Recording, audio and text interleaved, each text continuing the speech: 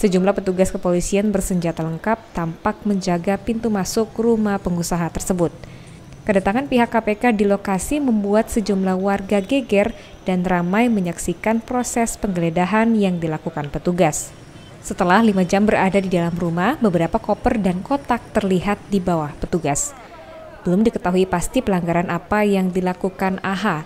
Sementara itu, petugas KPK sendiri menolak memberikan keterangan terkait penggeledahan tersebut. Sejumlah rombongan Komisi Pemberantasan Korupsi atau KPK terlihat keluar masuk di salah satu ruko milik seorang pengusaha berinisial AH dengan pengawalan pihak kepolisian.